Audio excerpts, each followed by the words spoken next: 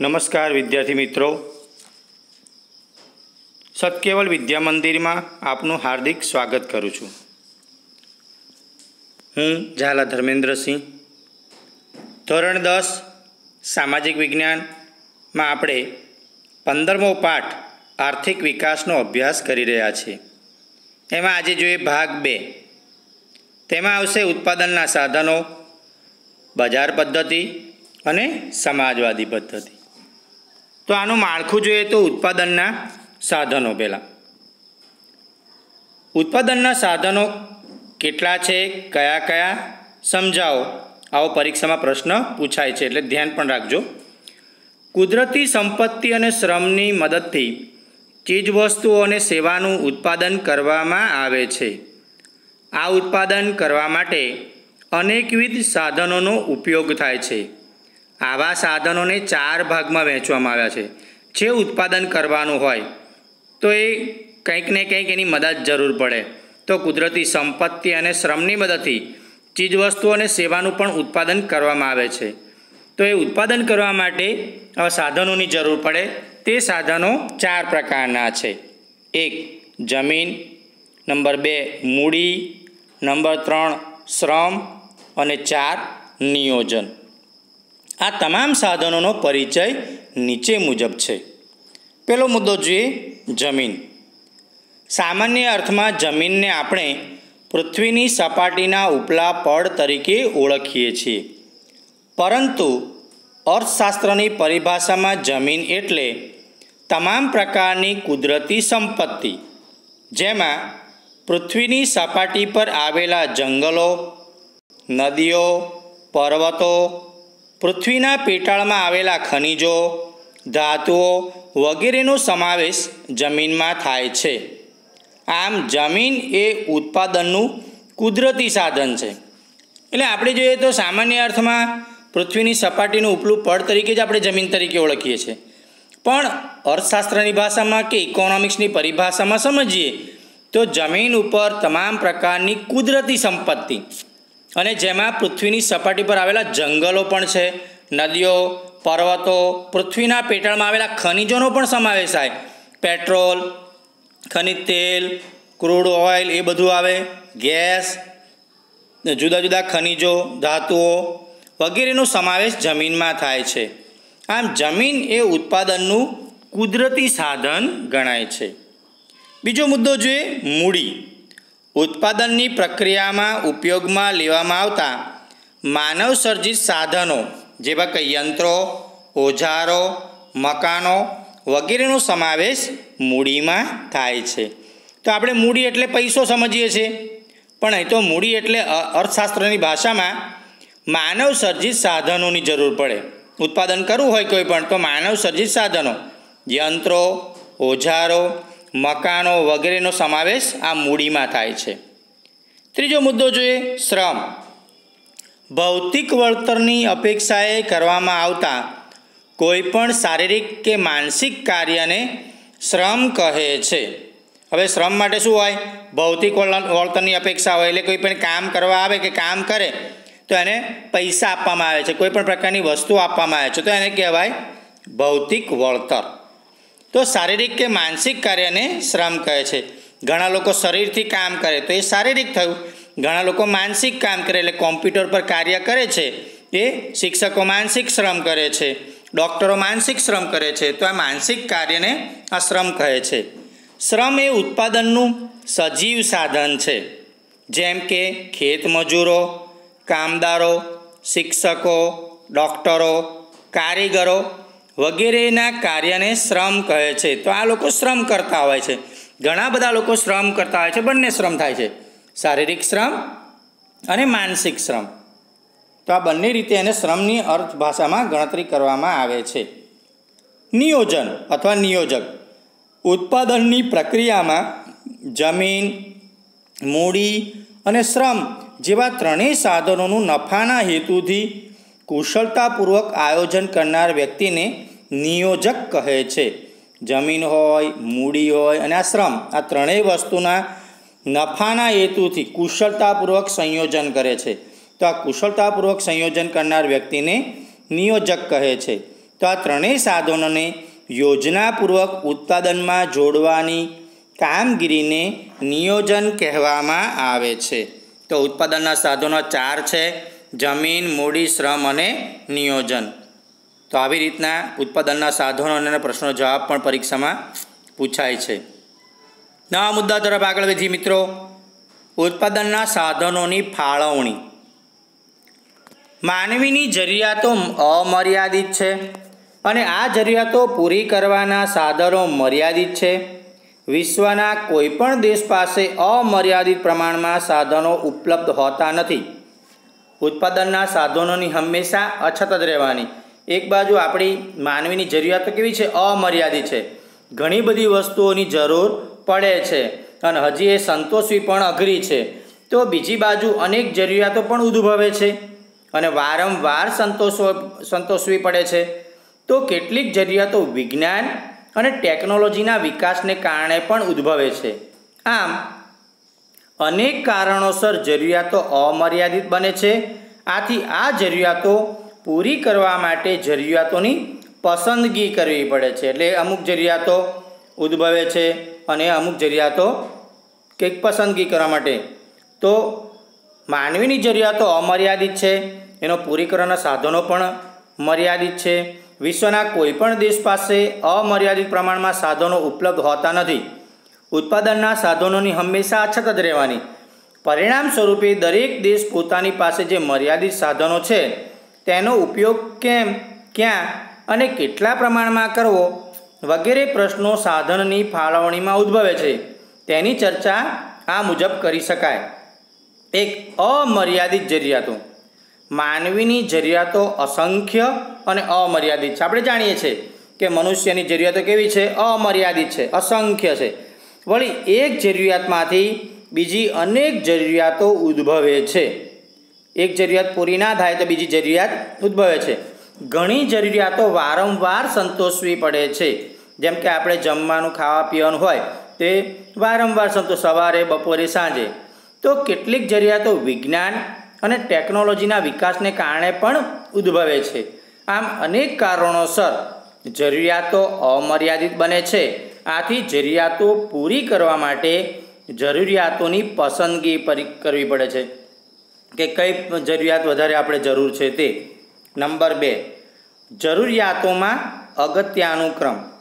અમર્યાદિત જરૂરિયાતોની સામે ઉત્પાદનના સાધનો મર્યાદિત હોવાથી કઈ જરૂરિયાતો વધુ અગત્યની છે? તે વ્યક્તિએ નક્કી કરી અને જરૂરિયાતોને અગત્યાનુક્રમ મુજબ સંતોષવી પડે છે. જે જરૂરિયાત વધુ અગત્યની હોય તેને પ્રથમ સંતોષવી પડે. એટલે આપણે જે જરૂરિયાત સૌથી પહેલી હોય જો જમવાનું, ખાવાનું, પીવાનું એ બધી વસ્તુની જરૂરિયાત, પાણી પીવાનું, તે બધી જરૂરિયાત ઝડપથી આપણે સંતોષવી પડે છે, તરસ લાગે તો પાણી પીવું પડે છે. તો પહેલાં આપણે જે જરૂરિયાત વધુ અગત્યની છે એને આપણે પ્રથમ સંતોષવી પડે છે. ત્યારબાદ અન્ય જરૂરિયાતો. આમ ઉત્પાદનના સાધનો મર્યાદિત હોવાથી જરૂરિયાતોમાં અગત્યાનુક્રમ નક્કી કરવો પડે છે. તો આ પ્રમાણે આપણે સાધનોને અગત્યાનુક્રમ પણ આપી રહ્યા છે નંબર ત્રણ, મર્યાદિત સાધનો. ઉત્પાદનના સાધનોમાં મુખ્યત્વે કુદરતી સંપત્તિ અને માનવીય સંપત્તિ હોય છે. આ તમામ સાધનો મર્યાદિત હોય છે. તેથી તેનો કરકસરપૂર્વક ઉપયોગ કરવો પડે અને પસંદ કરેલી જરૂરિયાતોને લક્ષ્યમાં લઈ સાધનોની ફાળવણી કરવી પડે છે. તો મર્યાદિત સાધનોની જરૂર છે. કુદરતી સંપત્તિ અને માનવીય સંપત્તિ હોય છે. આમ તમામ સાધનો મર્યાદિત હોય છે. હવે એનો કરકસરપૂર્વક ઉપયોગ કરવો પડે. જેમ કે કોલસો, ખનિજ તેલ, કુદરતી ઓઇલ પછી ગેસ, આ બધી કરકસરપૂર્વક ઉપયોગ કરવો પડશે. પસંદગી કરેલી જરૂરિયાતોને લક્ષ્યમાં લઈ સાધનોની ફાળવણી પણ કરવી પડે. સાધનોનો વૈકલ્પિક ઉપયોગ જરૂરિયાત સંતોષવાના સાધન મર્યાદિત છે. એટલું જ નહીં, પરંતુ તે વૈકલ્પિક ઉપયોગ ધરાવે છે.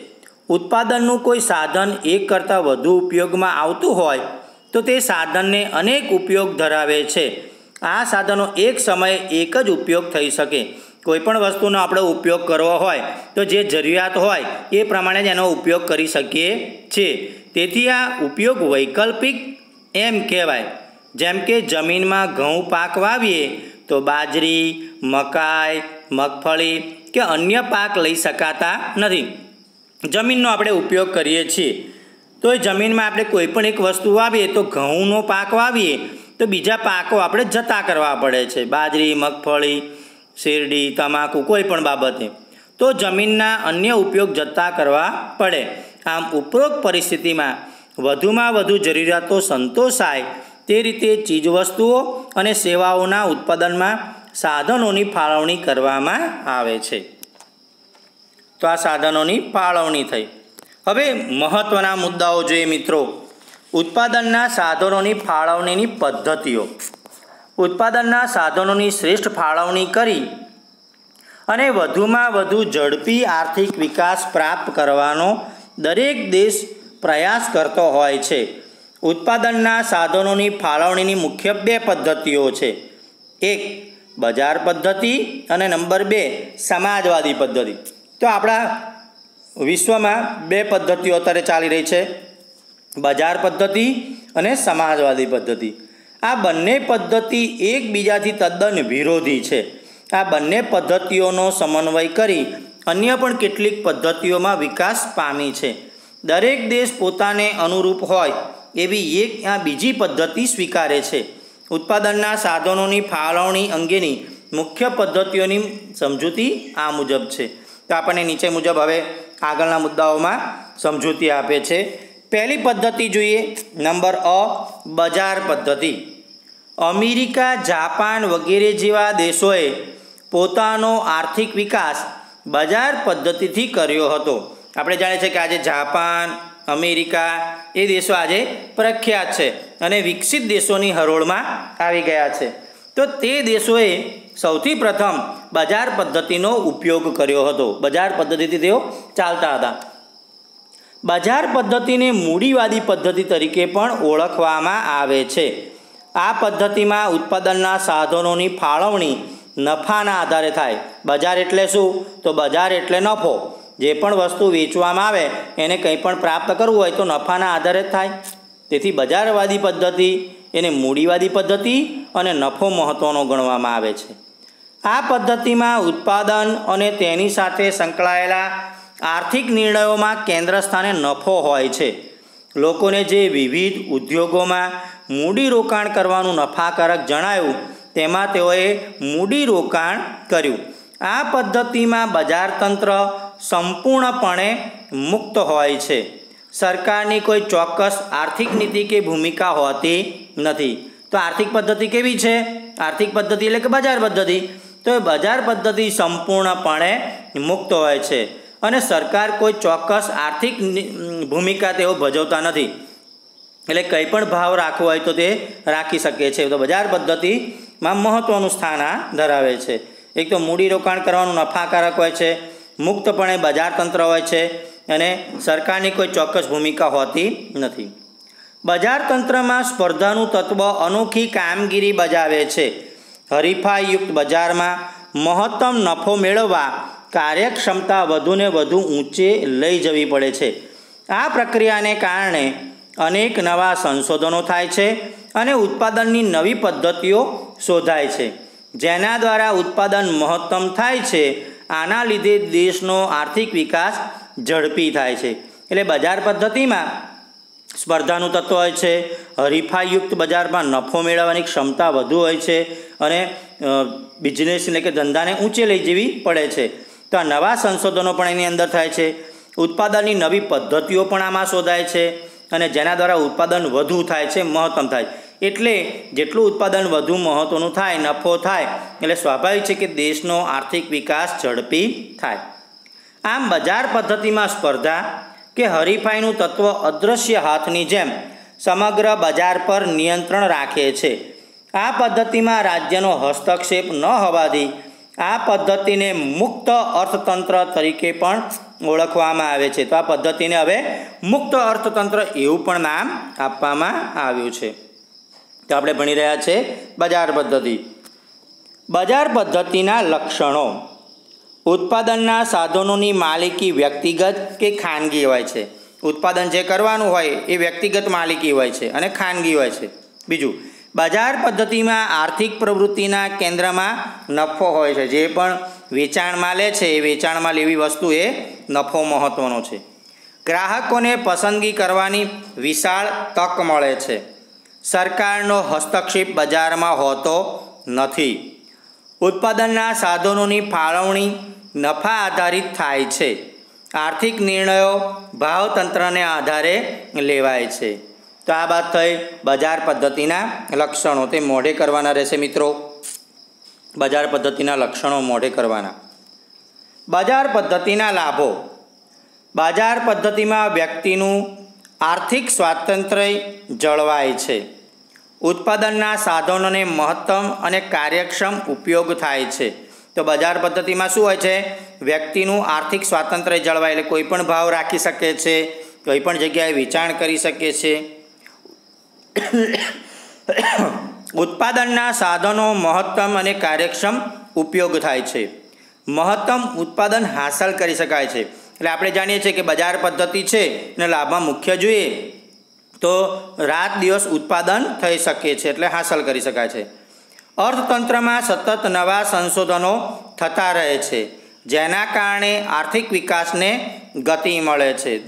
અર્થતંત્રમાં સતત નવા સંશોધનો થાય, નવી નવી વસ્તુઓ બને, એના કારણે શું થાય? આર્થિક વિકાસને ગતિ મળે છે. સ્પર્ધાને કારણે વસ્તુની ગુણવત્તા શ્રેષ્ઠ બને છે. સ્પર્ધા હોય એટલે સ્વાભાવિક છે કે વસ્તુની ગુણવત્તા પણ સુંદર બને છે, સારી બને છે. બજાર પદ્ધતિના આપણે મિત્રો આ લાભ જોયા એ પણ અગત્યના છે. બજાર પદ્ધતિની મર્યાદાઓ એટલે કે ખામીઓ. બજાર પદ્ધતિના અનેક લાભો હોવા છતાં તે સંપૂર્ણ નથી. એમાં કેટલીક ખામીઓ કે તેની મર્યાદાઓ છે. જે નીચે મુજબ છે. એક, નફાને ધ્યાનમાં રાખીને ઉત્પાદન થતું હોવાથી મોજ શોખની વસ્તુઓનું ઉત્પાદન વધુ થાય અને પ્રાથમિક જરૂરિયાતોની વસ્તુઓનું ઉત્પાદન ઘટે છે.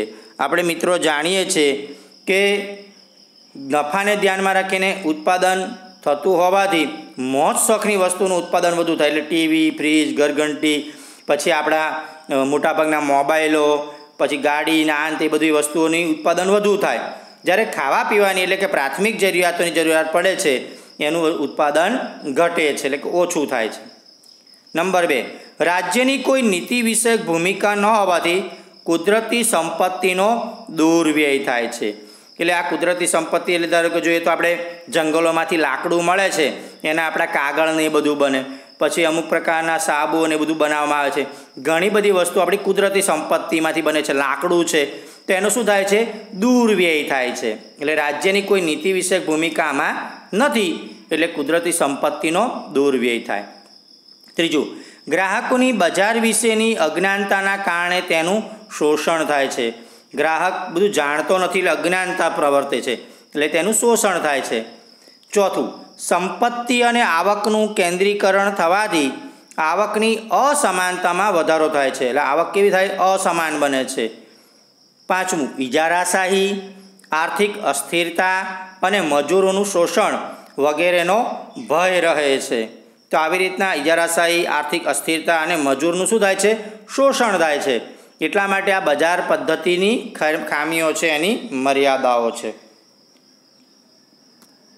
નવા મુદ્દા તરફ આગળ વધીએ. મિત્રો, બજાર પદ્ધતિ પદ્ધતિ પછી એક નવી પદ્ધતિનો પણ ઉદ્ભવ થયેલો. એનું નામ છે સમાજવાદી પદ્ધતિ. બજાર પદ્ધતિની અનેક ખામીઓ તથા નિષ્ફળતાના પરિણામે સમાજવાદી પદ્ધતિનો ઉદ્ભવ થયો. રશિયા અને ચીન જેવા દેશોએ આ પદ્ધતિ અપનાવી ઝડપથી આર્થિક વિકાસ હાંસલ કર્યો હતો. તો રશિયા અને ચીન એ એવા દેશો છે જેમણે શરૂઆતમાં સમાજવાદી પદ્ધતિનો ઉદ્ભવ કરેલો. તેનાથી આર્થિક વિકાસ હાંસલ કર્યો હતો. સમાજવાદી આર્થિક પદ્ધતિ એ બજાર પદ્ધતિથી તદ્દન વિરોધી છે. સમાજવાદી આર્થિક પદ્ધતિમાં બધા જ આર્થિક નિર્ણયો રાજ્યતંત્ર દ્વારા લેવામાં આવે છે. ઉત્પાદનના બધા જ સાધનોની માલિકી રાજ્યની હોય છે. એટલે કે આપણે બજાર પદ્ધતિમાં જોયું હતું તો એ ખાનગી માલિકી હોય છે, એટલે પ્રાઇવેટ હોય છે, જ્યારે સમાજવાદી પદ્ધતિમાં માલિકી રાજ્યની હોય છે, એટલે કે તમારી જમીન પણ સરકારની ફેક્ટરી પણ સરકારની, બધી ટોટલી વસ્તુઓ સરકારની ગણાય, સમાજવાદી પદ્ધતિમાં. આ પદ્ધતિમાં સમગ્ર અર્થતંત્રનું સંચાલન રાજ્ય દ્વારા થાય છે. ઉત્પાદન, મૂડીરોકાણ, સાધનોની ફાળવણી, ઉત્પાદનની વહેંચણી વગેરે સમાજની જરૂરિયાતને ધ્યાનમાં રાખીને રાજ્ય દ્વારા કરવામાં આવે છે. હવે કોઈ પણ ઉત્પાદન કરવું હોય, મૂડી રોકાણ કરવું હોય, કોઈ સાધનોની ફાળવણી કરવી હોય, ઉત્પાદનની વહેંચણી કરવી હોય વગેરે સમાજની જરૂરિયાતને ધ્યાનમાં રાખીને. એટલે સમાજને શું જોઈએ છે? એ પ્રમાણે એ લોકોને એ વ્યવસ્થા કરવામાં આવે છે અને એ પ્રમાણેનું ઉત્પાદન રાજ્ય કરે છે. રાજ્ય એટલે કોઈ પણ દેશ. રાજ્ય દ્વારા એનું ધ્યાનમાં રાખીને ઉત્પાદન કરે છે. સમાજવાદી પદ્ધતિમાં કેન્દ્ર સ્થાને નફો નહીં, પણ સમગ્ર સમાજનું કલ્યાણ રહેલું હોય છે. ચીજવસ્તુઓનું ઉત્પાદન અને ભાવો રાજ્ય દ્વારા નક્કી થાય છે. રાજ્ય નક્કી કરે છે, દેશ નક્કી કરે છે, એ સરકાર નક્કી કરે છે કે કેટલો ભાવ રાખો કોઈ પણ વસ્તુનો. રાજ્યોએ નક્કી કરેલા ઉત્પાદનના લક્ષ્યાંકોને સિદ્ધ કરવાની જવાબદારી રાજ્ય સંચાલિત કારખાનાઓની હોય. જ્યારે કે અમુક કારખાનાઓ આજે પણ દેશની અંદર મોટાભાગના રાજ્ય દ્વારા ચાલે છે. તો એ કારખાનાઓની જવાબદારી સરકારની હોય છે. ખેતી પણ રાજ્યની માલિકીની હોય. આખો દેશમાં જે પણ ખેતીવાડી જમીન લાયક જમીન હોય, એ ખેતી પણ સરકારની હોય છે. શ્રમિકોને તેની ક્ષમતા મુજબ વેતન આપવામાં આવે છે અને તે મુજબ કામ લેવામાં આવે છે. તો શ્રમિકોને પણ બધા જ વ્યક્તિઓ તે વખતે સરકારી કામ કરતા હોય છે. એટલે મુજબ વેતન આપવામાં આવે અને કામ લેવામાં આવે છે. તો આ બાબતો બધી સમાજવાદી પદ્ધતિને લાગુ પડે છે. સમાજવાદી પદ્ધતિના લક્ષણો. ઉત્પાદનના સાધનોની માલિકી રાજ્યની હોય છે. અર્થતંત્રમાં બધા જ આર્થિક નિર્ણયો રાજ્ય દ્વારા લેવામાં આવે છે. આર્થિક પ્રવૃત્તિના કેન્દ્રમાં નફો નહીં પણ સમાજનું હિત હોય છે. શ્રમિકોને કામના બદલામાં વેતન ચૂકવવામાં આવે છે. હમણાં જેમ ભણ્યા એ પ્રમાણે ઉત્પાદનની સાધન, સાધનોની માલિકી રાજ્યની હોય. રાજ્યની એટલે કે સરકારની. જમીન પણ સરકારની, ફેક્ટરી પણ સરકારની.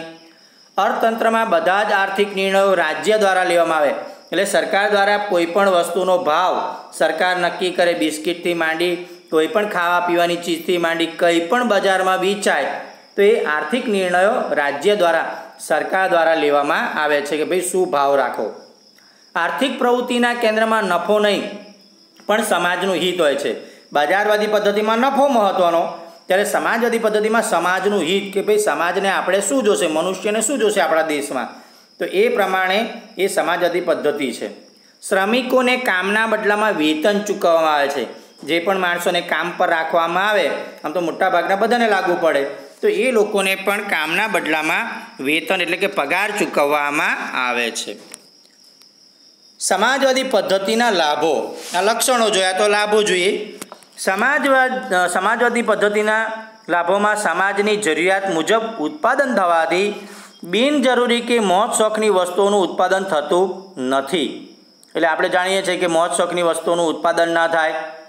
બીજું આ પદ્ધતિમાં ઉત્પાદનના નિર્ણય રાજ્ય દ્વારા લેવાતો હોવાથી કુદરતી સંપત્તિનો દુર્વ્યય થતો નથી. કારણ કે રાજ્ય નક્કી કરે છે કેટલું ઉત્પાદન કરવાનું, શું કરવાનું અને માણસોને કેટલું જોશે. કેટલી આવક એ પ્રમાણે કુદરતી સંપત્તિનો દુર્વ્યય થતો નથી. ત્રીજું, આવક સંપત્તિની અસમાનતા દૂર થાય છે. એટલે આવકની અને સંપત્તિની અસમાનતા દૂર થાય. એટલે બધા માટે સરખો, બધા માટે પગારનું જ વ્યવસ્થા સચવાયેલી હોય. ચોથું, ગ્રાહકનું શોષણ થતું નથી. ગ્રાહકને સરકાર દ્વારા બધું પૂરું પાડવામાં આવે એટલે એનું શોષણ પણ થતું નથી. આ રીતે સરકાર દ્વારા પણ એ પૂરું પાડવામાં આવે છે એટલે સમાજવાદી પદ્ધતિ સરકારી પદ્ધતિ પણ કહેવામાં આવે છે. આગળ નવા મુદ્દા તરફ મિત્રો વધીએ તો સમાજવાદી પદ્ધતિની મર્યાદાઓ, ખામીઓ. સમાન વહેંચણી અને સામાજિક કલ્યાણના ઉમદા ધ્યેય સાથે અમલમાં આવેલી સમાજવાદી પદ્ધતિમાં પણ કેટલીક ખામીઓ છે જે નીચે મુજબ છે. એક, ઉત્પાદનના સાધનોની માલિકી રાજ્યની હોવાથી ઉત્પાદન વધારવા માટે પ્રોત્સાહન મળતું નથી. એટલે બધા જ લોકો નોકરી કરતા હોય, માલિકી રાજ્યની હોય, એટલે કંઈ ઉત્પાદન વધારવું હોય, તો વધારી શકે નહીં. બીજું, સ્પર્ધા કે હરીફાઈના અભાવના કારણે અર્થતંત્રમાં સંશોધનને વેગ મળતો નથી. કંઈ નવું સંશોધન કરવું હોય, નવી કંઈ પ્રોડક્ટ બનાવવી હોય, તે થતી નથી. કારણ કે સ્પર્ધાને હરીફાઈ નથી એમાં સમાજવાદી પદ્ધતિમાં. ત્રીજો મુદ્દો. આ પદ્ધતિમાં વ્યક્તિગત સ્વાતંત્ર્ય જળવાતું નથી. વ્યક્તિગત સ્વતંત્રતા જળવાતી નથી. સરકારે કહ્યું હોય એટલું જ ઉત્પાદન કરવાનું. ચોથું, રાજ્યના સંપૂર્ણ હસ્તક્ષેપના કારણે અમલદારશાહીનો ભય ઊભો થાય છે. એટલે રાજ્ય પાસે બધું જ લાગુ પડે એટલે રાજ્ય શું કામ કરશે? એ બધું જ અમલદારશાહીથી કામ કરાવશે. તો આ સમાજવાદી પદ્ધતિની મર્યાદાઓ થઈ. ઉપર આપણે જોયું સમાજવાદી પદ્ધતિના લક્ષણો. હજી પણ એક ત્રીજી પદ્ધતિ છે, જેનું નામ છે મિશ્ર અર્થતંત્ર. બજાર પદ્ધતિ અને સમાજવાદી પદ્ધતિથી કેટલીક મર્યાદાઓના કારણે બંને પદ્ધતિઓની કેટલીક સારી બાબતોનો સુમેળ સાધી. અને મધ્યમ માર્ગ તરીકે મિશ્ર અર્થતંત્રની પદ્ધતિ અસ્તિત્વમાં આવી. તો ત્રીજો મુદ્દો છે, ત્રીજી અર્થતંત્રની એક પદ્ધતિ છે, મિશ્ર અર્થતંત્ર. મિશ્ર અર્થતંત્ર એટલે બજારવાદી પદ્ધતિ અને સમાજવાદી પદ્ધતિ. આ બંને પદ્ધતિઓનો સમન્વય થઈ મિશ્ર અર્થતંત્ર થયું. મિશ્ર અર્થતંત્ર એટલે એવી આર્થિક પદ્ધતિ કે જેમાં જાહેર અને ખાનગી ક્ષેત્રનું સહ અસ્તિત્વ હોય. અને આ બંને ક્ષેત્રો એકબીજાના હરીફ નહીં, પરંતુ પૂરક બનીને કામ કરતા હોય. આ પદ્ધતિમાં ખાનગી વિભાગમાં ખેતી, વ્યાપાર, નાના વપરાશી માલના ઉદ્યોગો વગેરેને માલિકી વ્યક્તિગત કે ખાનગી હોય છે. જ્યારે ભારે ઉદ્યોગો, સંરક્ષણ, સામગ્રીના કારખાના, રેલવે, વીજળી, રસ્તાઓ, સિંચાઈ વગેરે પાયાના ચાવીરૂપ ઉદ્યોગો ક્ષેત્રોની માલિકી રાજ્યની હોય છે. તો આ મિશ્ર અર્થતંત્ર પદ્ધતિમાં શું? તો મિશ્ર અર્થતંત્રમાં હરીફાઈ નહીં, પરંતુ કામ કરતા હોય છે, પૂરક બનીને કામ. તો આ પદ્ધતિમાં ખાનગી વિભાગમાં ખેતી આવે, વ્યાપાર આવે, નાના વપરાશી માલના ઉદ્યોગો વગેરે માલિકી વ્યક્તિગત અને ખાનગી હોય છે. જ્યારે મોટા ઉદ્યોગો જોઈએ તો સંરક્ષણ, તો બંદૂક, તોપ જે બધું બનતું હોય તો એ સંરક્ષણ ખાતામાં આવે. તો એના કારખાના એ સરકાર હસ્તક હોય.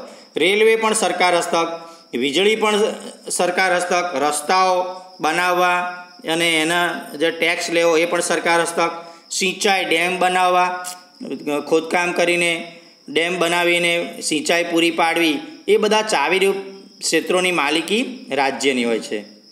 આ પદ્ધતિમાં બજારો સંપૂર્ણ સ્વતંત્ર હોતા નથી.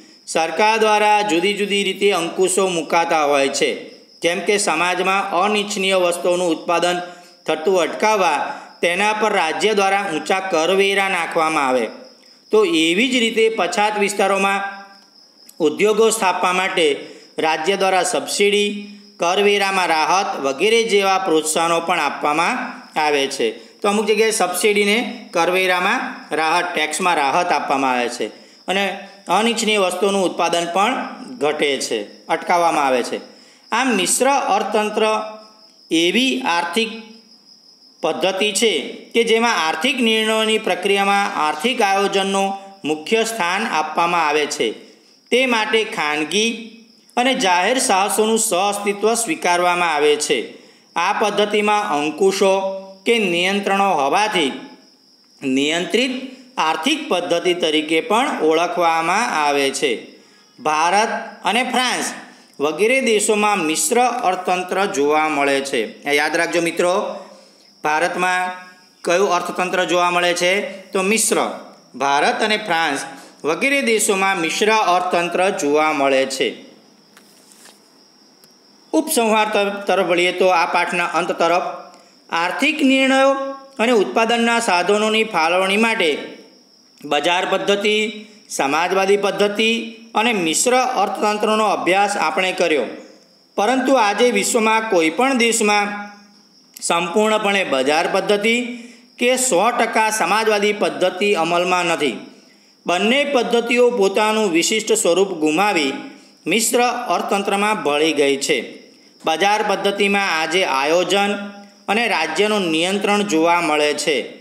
જ્યારે સમાજવાદી પદ્ધતિમાં પણ આર્થિક છૂટછાટો અને આર્થિક ઉદારતાની અસર પણ જોવા મળે છે.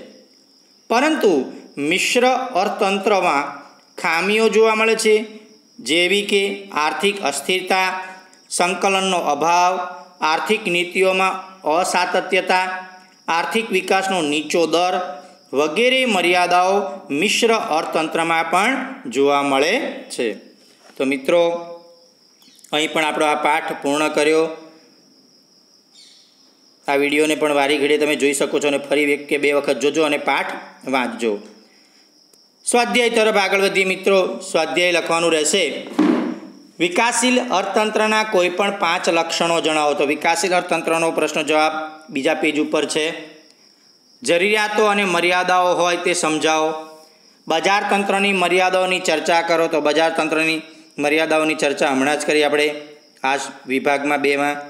ચોથો નંબર છે, મિશ્ર અર્થતંત્રમાં સાધનોની ફાળવણીની ચર્ચા કરો. એટલે લખવાનું છે. પ્રશ્ન નંબર બે. ઉત્પાદનના સાધન તરીકે જમીન. તો બે કે ત્રણ લીટીમાં છે. સમાજવાદી પદ્ધતિની ખામીઓ. જે ચાર મુદ્દા ખામીઓ છે તે. આર્થિક વૃદ્ધિ અને આર્થિક વિકાસ વચ્ચેનો તફાવત. જે શરૂઆતમાં જ આપણે ભણ્યા હતા, તે લખવાનો છે. પ્રાથમિક ક્ષેત્રે વિશેષ નોંધ, પ્રાથમિક ક્ષેત્રમાં ખેતી ખેતી સાથે સંકળાયેલી પ્રવૃત્તિઓ, એ જે આવે છે, એ આ પોઈન્ટમાં લખવાનું રહેશે. તફાવત સ્પષ્ટ કરો, આર્થિક પ્રવૃત્તિ અને બિન આર્થિક પ્રવૃત્તિ, એ પણ આગળ પ્રશ્નના જવાબમાં આપણે પહેલા ભાગમાં ભણ્યા હતા, તે જોવાનું રહેશે. પ્રશ્ન નંબર ત્રણમાં, આર્થિક વિકાસ એટલે શું? ઉત્પાદનના મુખ્ય સાધનો કયા છે? સમજાવો, જણાવો. જમીન, મૂડી, શ્રમ, નિયોજન, એ પણ લખવાના છે. આર્થિક પ્રવૃત્તિઓનો અર્થ જણાવો. ભારતે કોઈ આર્થિક પદ્ધતિ અપનાવી છે? સાધનોનો વૈકલ્પિક ઉપયોગ એટલે શું? તો આ પ્રશ્નોના જવાબ લખવાના છે નીચે. પ્રશ્ન નંબર ચારમાં વિકલ્પો આપેલા છે. એ વિકલ્પો પણ પાઠ વાંચીને અથવા વીડિયો ફરીવાર જોઈને પણ તમારે લખવાના રહેશે. થેન્ક યુ સત કેવલ સાહેબ. આ પાઠ આપણે પૂર્ણ કરીએ છીએ.